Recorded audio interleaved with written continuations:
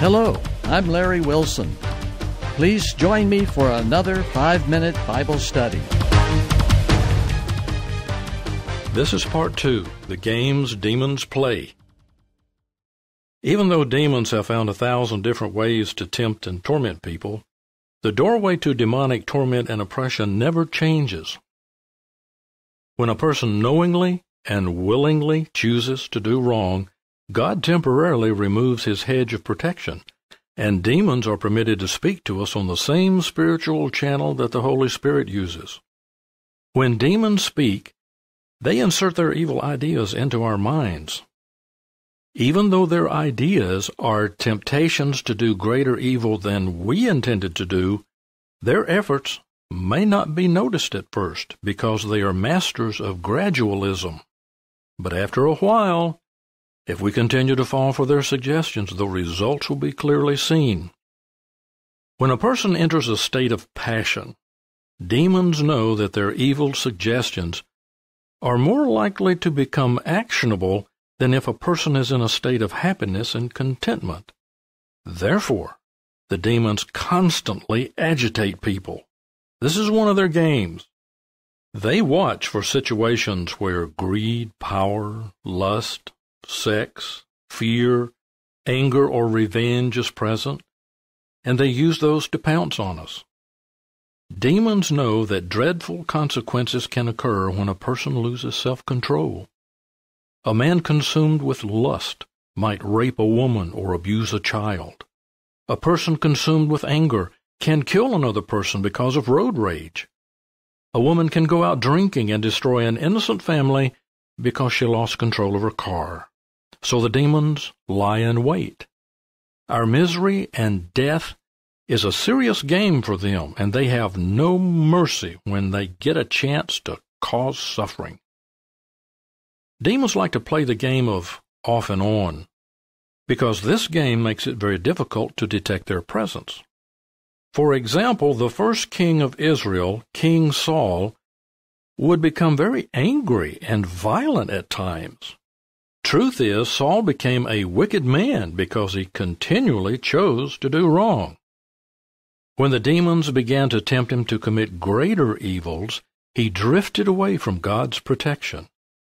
Later, when he faced a great battle with the Philistines, he asked the Lord what he should do, but God refused to respond. Fearful and desperate, King Saul visited a medium and a demon appeared that looked like Samuel. The demon totally demoralized the king, telling him that he would not survive. King Herod also suffered from the games that demons play. When the wicked Herod sensed that his throne might be threatened by the birth of baby Jesus, he ordered the death of all baby males less than two years old in Bethlehem in an effort to kill Jesus. According to Revelation 12, the demons caused Herod to commit this awful crime.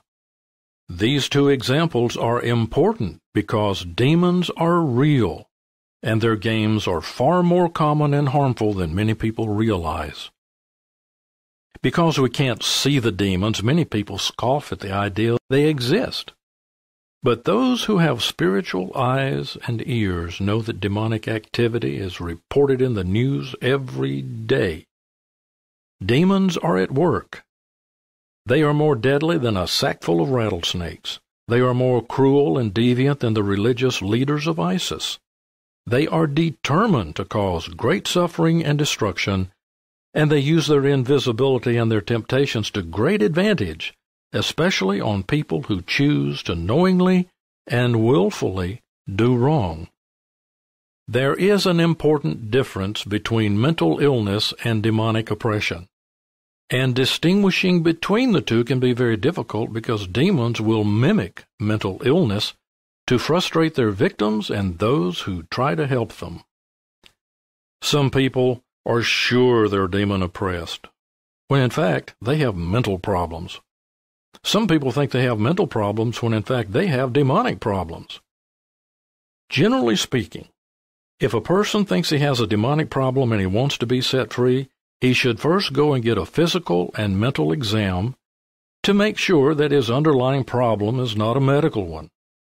If no mental or physical defect can be found, then he should seek out a godly person, a Christian counselor, or a member of the clergy who can discuss his problem in depth. Together they can seek the Lord for wisdom and understanding to determine how to proceed. Finally, you need to consider a very clever game that demons play.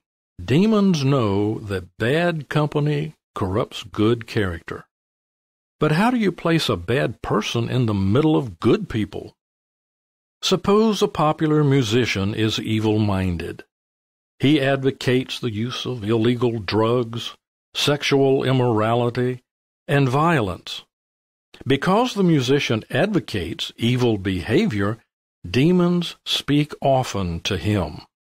They enhance his music and lyrics with their own evil thoughts. The musician sells a million records. Now suppose a few million teenagers buy the music inspired by demons. What will be the result? The young will listen and be impressed. They will follow after the musician on Facebook, thinking that his tunes are catchy and his lyrics are really cool. Once they memorize his music, they will be influenced by demons on the way life should be lived. And what will be the result? Millions of teenagers will grow up thinking that wrong is right and right is wrong and when their generation begins to have children, what will the grandchildren know about good and evil? Can a person know God's ways and will if no one teaches him? Can a person have a true understanding of good and evil when he is ignorant of God's truth and rebellious toward his authority? Of course not, and the demons know it. This is why the demons have set up thousands of agents who work in the music industry and in the movie industry. And here's the irony most of the agents in these industries don't know they're working for the demons. What a brilliant game! Summarizing, if a person thinks he has a problem with demons, he should have a medical checkup to rule out physical or mental illness. If nothing is found, he should then seek out a godly counselor or a member of the clergy. The Bible says, Let us draw near to God with a sincere heart in full assurance of faith. Submit yourselves then to God. Resist the devil, and he will flee from you. Come near to God, and he will come near to you. Hebrews 10 and James 4. How do we come near to God? The first step is repentance, confessing and forsaking known sin. The second step is restitution. We have to make wrongs right. When we take these two steps, the transforming power of God will come into our lives and the demons will flee. The Lord will return his hedge of protection.